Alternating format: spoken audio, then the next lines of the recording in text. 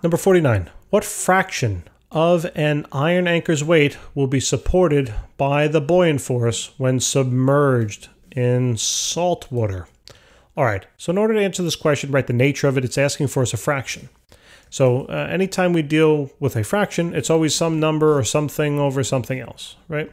Now the key critical question in this problem is, well, it's what over what? Where do the things go?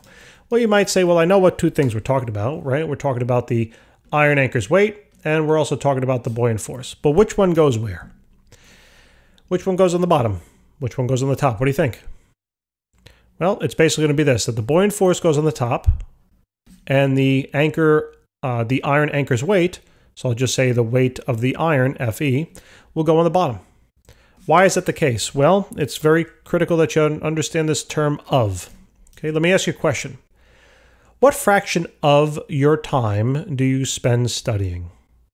And you might say, well, of what time? Of the time I'm not sleeping, of the time I'm of the total time I have in a day, right? Of the time I have over the week. What? So if I said, what fraction of the total time throughout the day do you spend studying?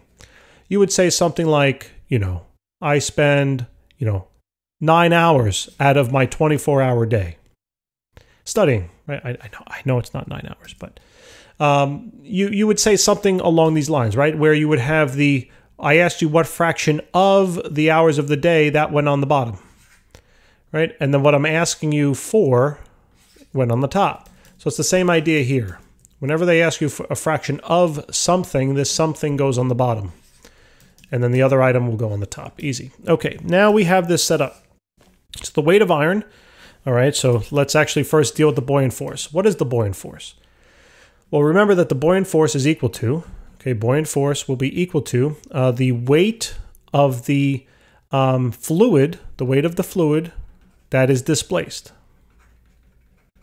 Okay, so when we, uh, if we look at the picture over here, when we take our iron anchor and drop it into the water, the volume of this anchor displaces the an equal amount of volume of water. Okay? Now, although the volumes are the same, the, the masses might be different, right? Because they have different densities. But that's the idea of buoyant force. So what I realize is that taking this fraction, I'm now going to realize I'm now going to write that we have this is equal to the weight of the fluid displaced, which is what's the fluid displaced in this problem? It's just water, right? So I'll say it's the weight of the water displaced divided by then the weight of the iron. Okay, so let's work with this now.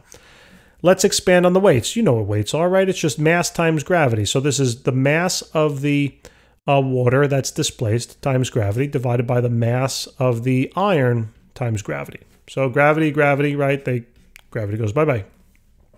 So now we don't know the mass and we don't know the we don't know either mass, right? But we do know the density. So now what I'm thinking about is I'm thinking about, well, how do I get how do I get density into this particular equation? Well, I could probably use this top one, right? And I can solve this top one for mass. If I solve the top one for mass, it looks like it's going to work out to be that mass is equal to density times then the volume. So what I'm going to do is substitute each of, or this equation in for each of these uh, terms, okay? In other words, let me just move this on over to the right-hand side here. I mean, these are all equal, so actually I'll just keep working down.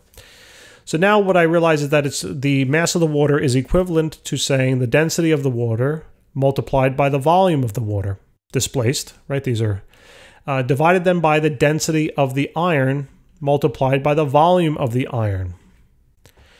And what did we say before about when you take this anchor, take, uh, come on, take this anchor and you dump it into the water? Whatever volume this anchor is, right, whatever the volume is here, will displace an equal volume of water. In other words, the volume of the iron, if it's fully submerged, and that's what it says, when submerged, will equal the volume of the water that was displaced. This is always true when the object is fully submerged. It is not true when the object is not fully submerged. So if these two are equal, then that means this in terms of my formula is equal, right? So they go bye-bye. So look what you're left with. I mean, here's such a simple idea, right? We start simple, we get a little more complex, but then we end simply, right? We have the density of the water divided by then the density of the iron.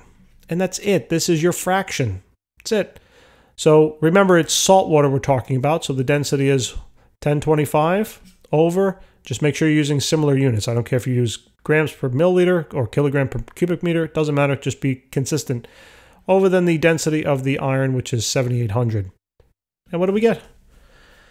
So 1025 divided by 7800 easy peasy. So there's about 0.13, right? In terms of a fraction, it's 0.13. If you had to answer it in percentage terms, you would have 13, uh, 13%. Okay. Guys, thanks so much for tuning in. I really do hope this helped you out. Uh, please help us out by subscribing, hitting that like button too, and telling your friends. All right. We appreciate it so very much. And uh, thank you.